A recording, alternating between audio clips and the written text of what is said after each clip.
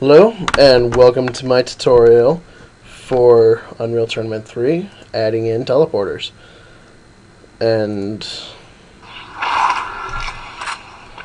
this is what I hope to accomplish with this tutorial. A teleporter that teleports you from one room to another and then back again.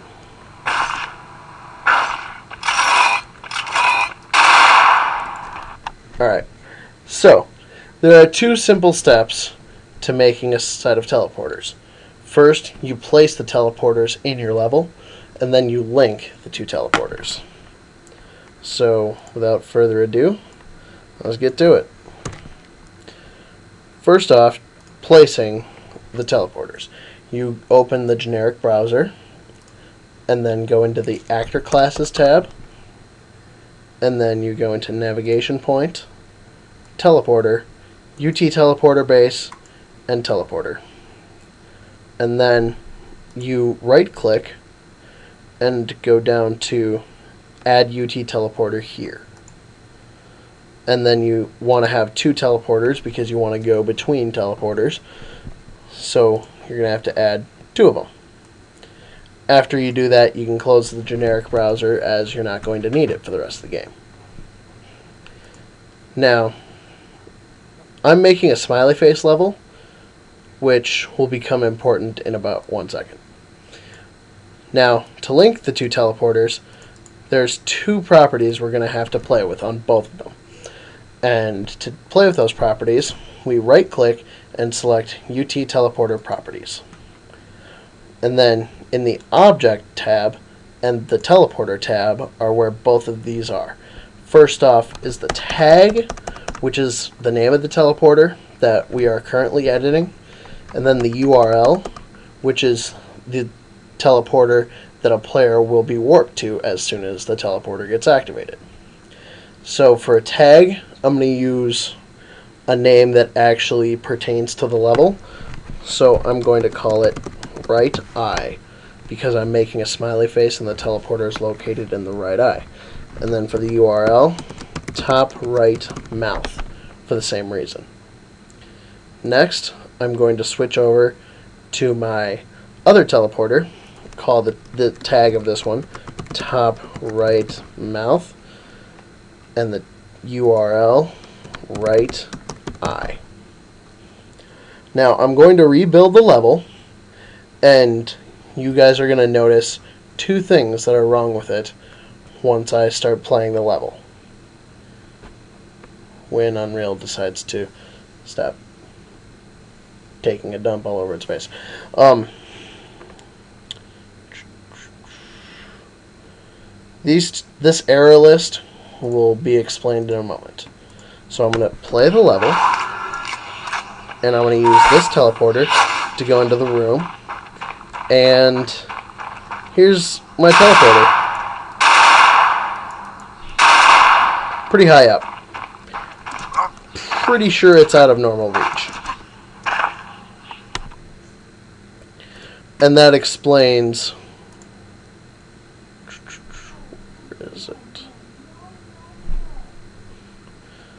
Uh, well, anyway, one of the errors was saying that, essentially saying that this teleporter was unable to be reached. And that's because of its Z position.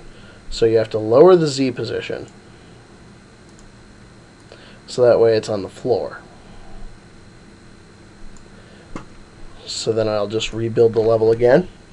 And then there'll be one more problem with it that won't be so apparent until I actually start playing through the level.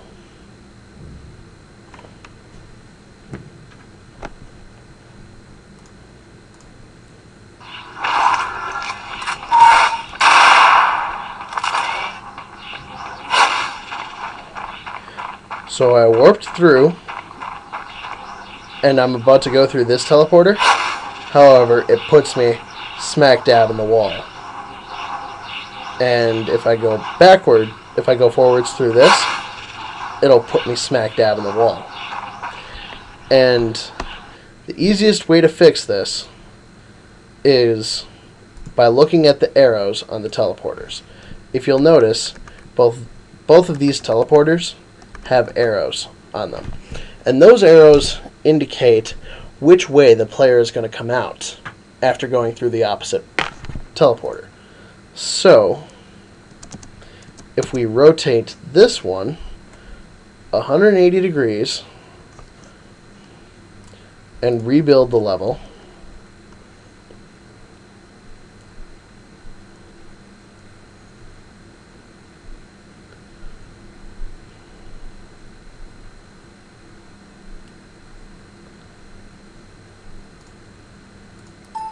Ah, yep, that's awesome. Remembering to acci- not accidentally start building the whole level again because it's a waste of time.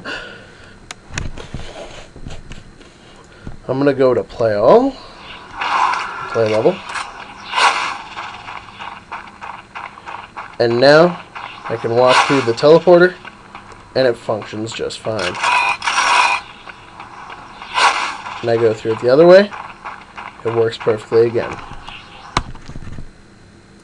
However, there is still another problem with this. Um, your players could attempt to go through the teleporter backwards in order to get, or they could go through the teleporter backwards and then end up facing the wrong way.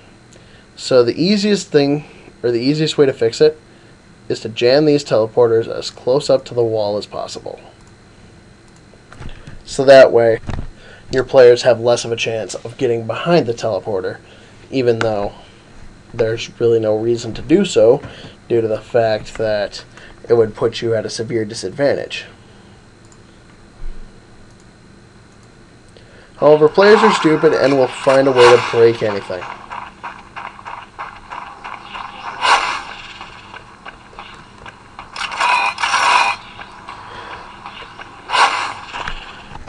So that about wraps up this tutorial.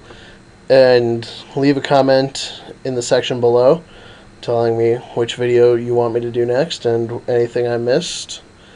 And I'll see you next time.